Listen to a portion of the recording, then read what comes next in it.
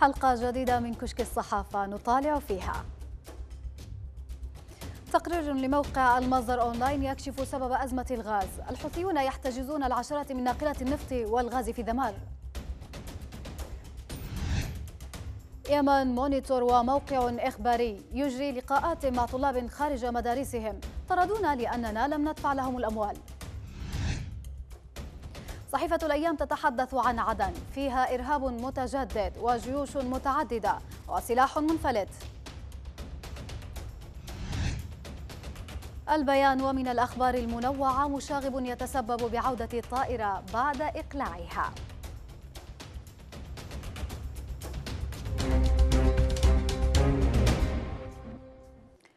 أهلا بكم. يحاول موقع إخباري متخصص العثور على سبب أزمة الغاز والبترول في صنعاء ويصل موقع المصدر أونلاين إلى أحد هذه الأسباب. ويعنون. الحوثيون يحتجزون العشرات من ناقلات النفط ومقطورات الغاز في دمار. وقال الموقع الذي نشر صورة تؤكد ذلك أن مسلحي جماعة الحوثي يحتجزون عشرات الناقلات المحملة بالوقود ومقطورات الغاز المنزلي في النقاط الأمنية التابعة لهم بالمدينة. ويمنعون وصولها إلى العاصمة صنعاء. ووفقا لمصادر هناك فإن الحوثيين يريدون إخضاع الوقود والغاز للجمارك وفرضوا رسوما كبيرة على الغاز والوقود أسوة بباقي المنتجات والسلع المستوردة من الخارج. تابع الموقع. يسعى الحوثيون إلى فرض رسوم الجمارك رغم أن الغاز المنزلي منتج محلي ويستخرج من حقول صافر الغازية. بمأرب. ويؤكد الموقع الإخباري أن منع الحوثيين لمرور الناقلات ومقطورات الغاز تسبب في أزمة كبيرة في صنعاء والمحافظات الخاضعة لسيطرة الحوثيين حيث ارتفع سعر الاسطوانة في السوق السوداء إلى 150% وينتج الغاز المنزلي من حقول صافر بمحافظة مأرب الخاضعة لسيطرة الحكومة الشرعية واستمرت في تغطية احتياجات السوق المحلية على مدى سنوات الحرب على الرغم من توقف إنتاج النفط الخام والغاز الطبيعي المسال. ويباع الغاز في مناطق الحكومة بسعر 1500 ريال بعد إضافة أجور النقل. يتابع الموقع.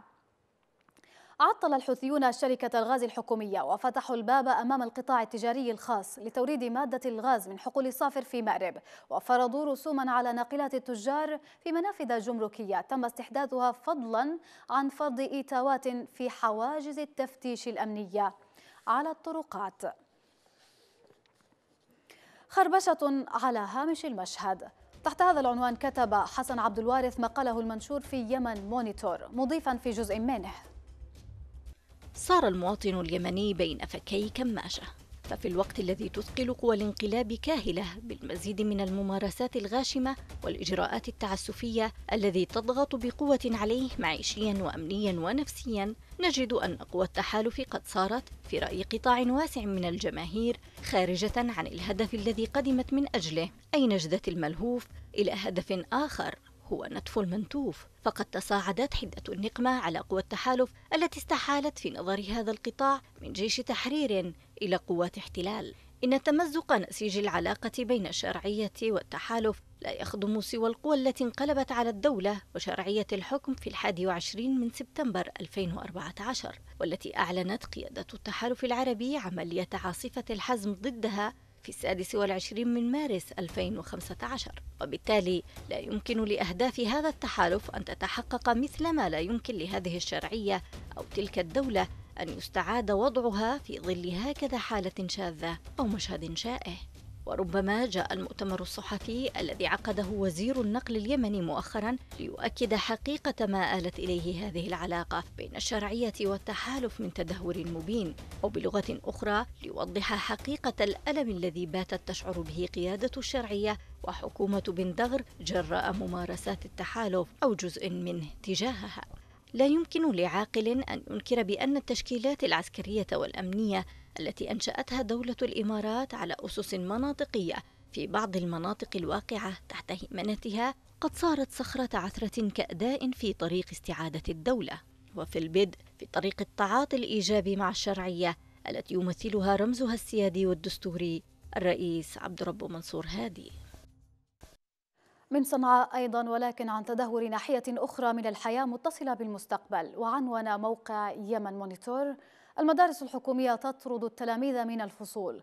تعليم هش في صنعاء لمن يدفع فقط. وقال الموقع لم تجد المدارس الحكومية في صنعاء حرجا من طرد عشرات التلاميذ الذين لم يتمكنوا من تسديد القسط الشهري الذي فرضه الحوثيون على أولياء أمورهم من أجل تعليمهم.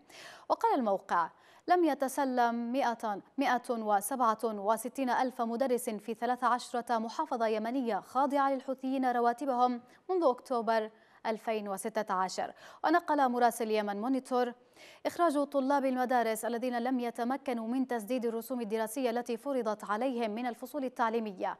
وبالاسم حسب كشوف معدة لمن يدفع ومن لا يدفع. وفي سؤال لعدد من تلاميذ الثانوية العامة حول مغادرتهم المدرسة باكرا أجابوا لم نتمكن من دفع الرسوم الشهرية التي فرضت علينا. 1500 ريال شهريا في مدرسة عمر بن عبد العزيز الحكومية الواقعة في منطقة دارس بصنعاء. مضيفين دفعنا المبلغ الشهر الماضي إلا أن إدارة المدرسة تطلب منا دفع المبلغ شهريا دون توقف وهذا ما نعجز عنه. وقال مدير مدرسة حكومية في صنعاء ليمن مونيتور إنهم تلقوا أوامر واضحة. من لا يدفع؟ لا يستحق أن يبقى في المدرسة للتعلم. يفكر كاتب صحفي يمني باعتزال الكتابة وترك التحليلات على الفضائيات والعودة إلى الصمت.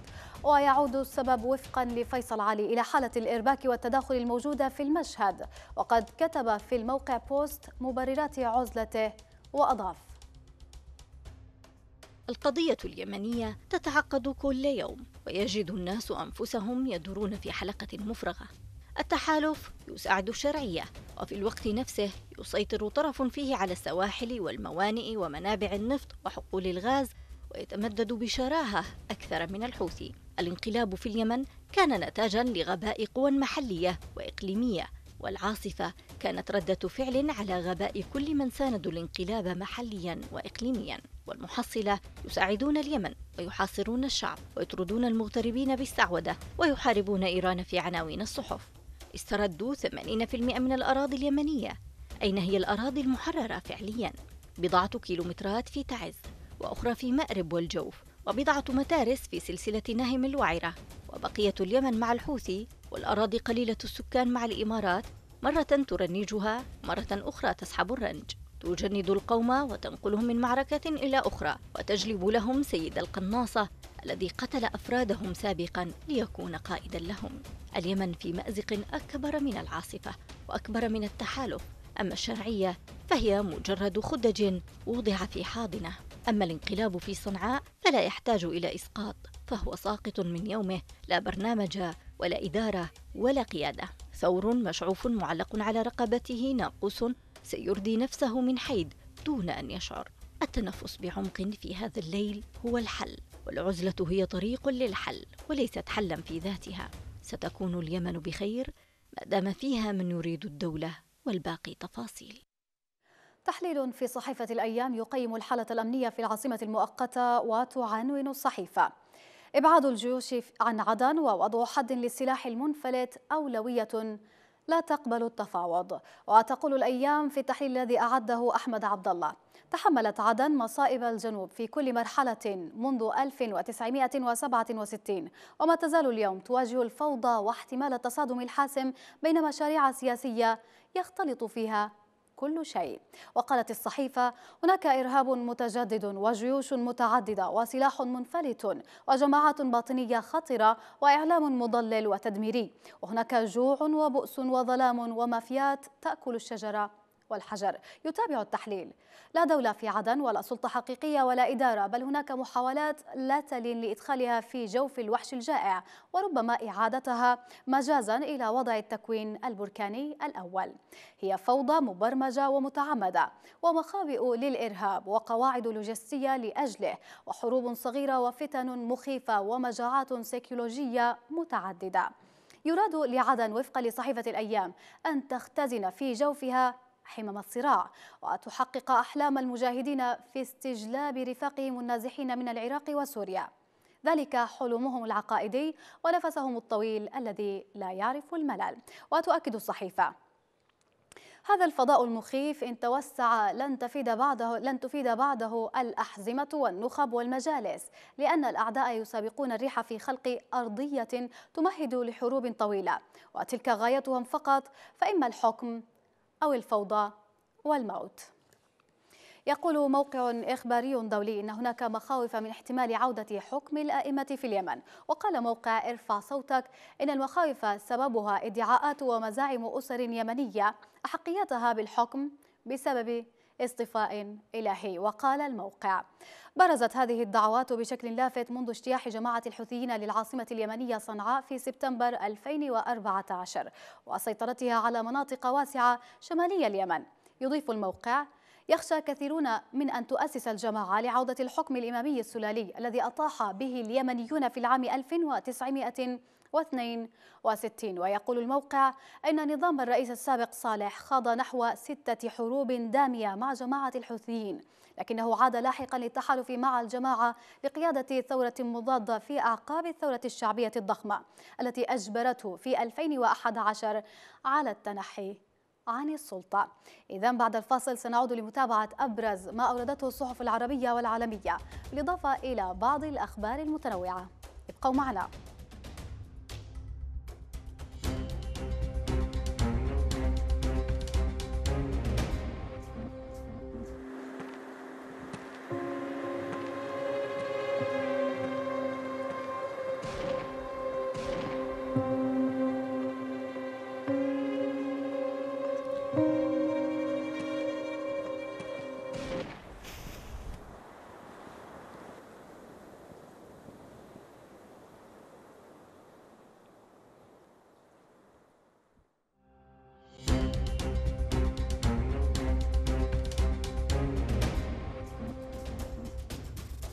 أهلا بكم من جديد.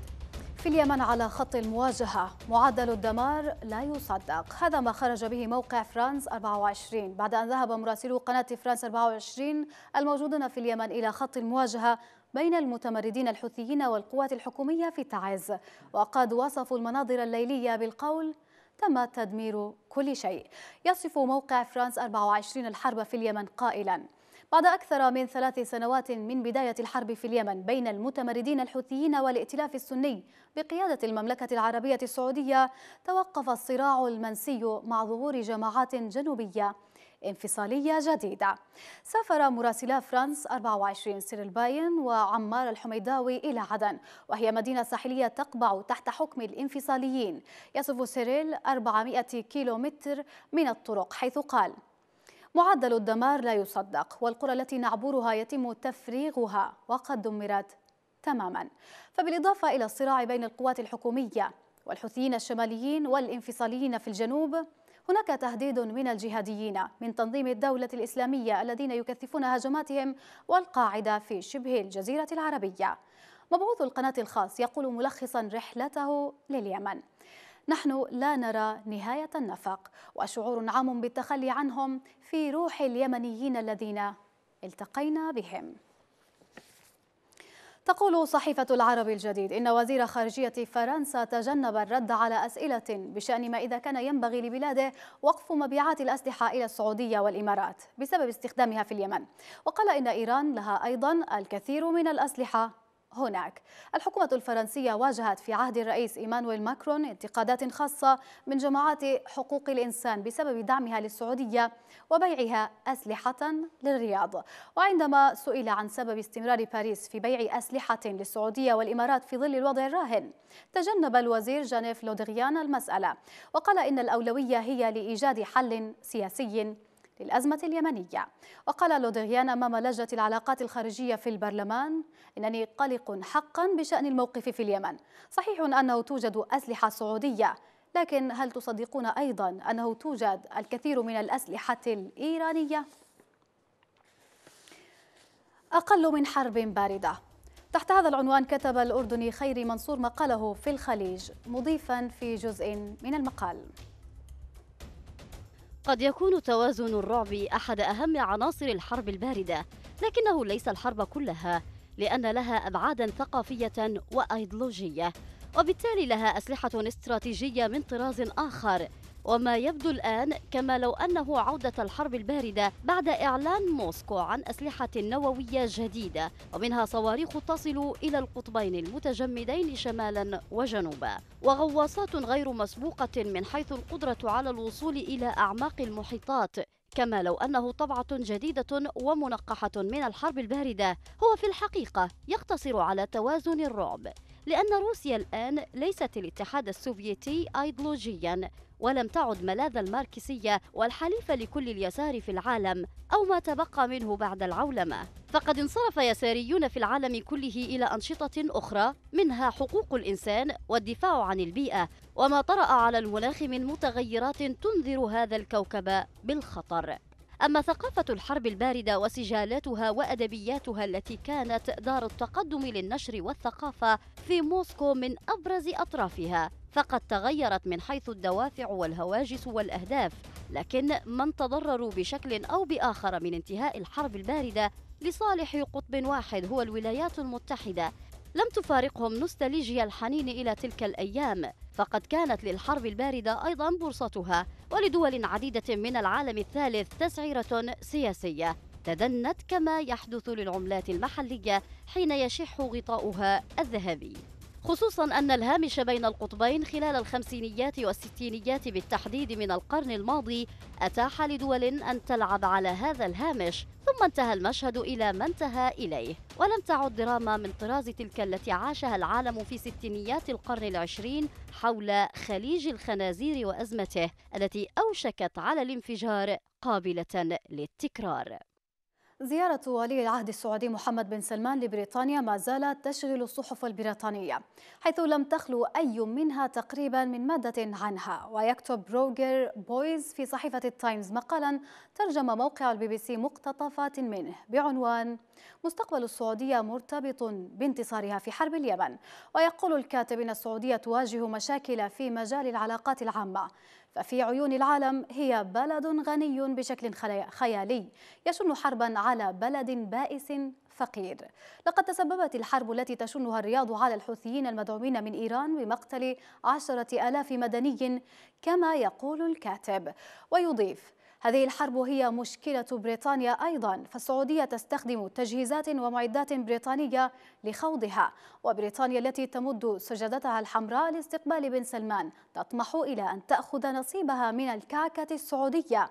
متمثلة في فرص التعاون التي يتيحها برنامج 2030 الذي صممه الزائر والذي سيشهد تشييد مدن جديدة وتحويلا لمسار الاقتصاد السعودي. ويرى الكاتب أن فشل ولي العهد في وضع نهاية معقولة للحرب وقدرة الحوثيين على إطلاق صواريخ تصل إلى قرب الرياض سيخدش صورة إنجازاته. قد ينجح شخص مشاغب كما وصفته صحيفة البيان في تعطيل رحلة طائرة والعودة بها إلى مطار الإقلاع. شركة مصر للطيران أعلنت وصول طائرتها القادمة من مسقط إلى القاهرة متأخرة أربع ساعات بسبب عودتها لسلطنة عمان بعد إقلاعها لتسليم راكب مشاغب. مصدر مسؤول بالشركة صرح في بيان إعلامي. أن الرحلة التي كان على متنها 78 راكبا وصلت إلى مطار القاهرة متأخرة عن موعدها المحدد بسبب عودة الطائرة إلى مطار مسقط مرة أخرى بعد إقلاعها بسبب وجود راكب مشاغب على الطائرة. وهناك تم تسليم الراكب إلى السلطات العمانية بمطار مسقط الدولي. في تصريح غير مسبوق لمسؤول أممي كبير قال المفوض السامي لحقوق الإنسان زيد بن رعد إن قيمة الحياء في تراجع في كل العالم. جاء هذا التصريح قبل أيام في خطاب الوداع الذي ألقاه الأمير الأردني الذي يعتبر أول عربي ومسلم يتولى هذا المنصب الرفيع أمام مجلس حقوق الإنسان بمناسبة نهاية ولايته. هكذا بدأ الكاتب المغربي علي أنوزلا مقاله المنشور في العرب الجديد. ما دفع زيد بن رعد إلى هذه القناعة هو تزايد القمع في العالم وتغول الدولة البوليسية التي قال إنها عادت لتحكم أكثر من بلد لكن أكثر ما استفز هذا الأمير الهادئ. وصمت الغرب ولا مبالاته وأحيانا تواطؤه وهو يسكت عن انتهاك فظيعة لحقوق الإنسان وجرائم بشعة ترتكبها أنظمة مستبدة في حق شعوبها ومواطنيها. ومن أعلى منصبه الذي يعتبر أرقى منصة للترفع عن حقوق الإنسان في العالم اعترف زيد بن رعد بتراجع الحقوق الأساسية للإنسان في كل العالم وتزايد انتهاك القيم الأساسية التي لم يعد مرتكبوها يشعرون بالحياة أو الخجل من فعلها لأنهم يعلمون مسبقا أنهم سيفلتون من كل عقاب.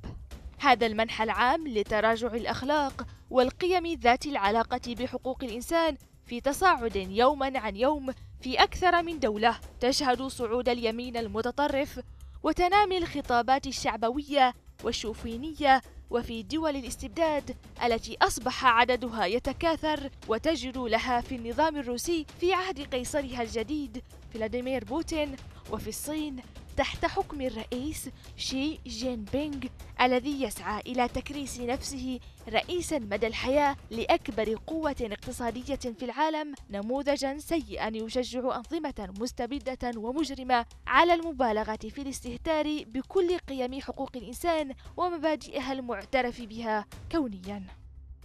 للمصادفة في أحيان كثيرة دور بجماليات الصور ولحملها أبعادا خارجة عن نطاقها المألوف. عدسة كاميرا صحيفة الجارديان نشرت بعضا من الصور التي كان للمصادفة دور في تكوينها. نتابع.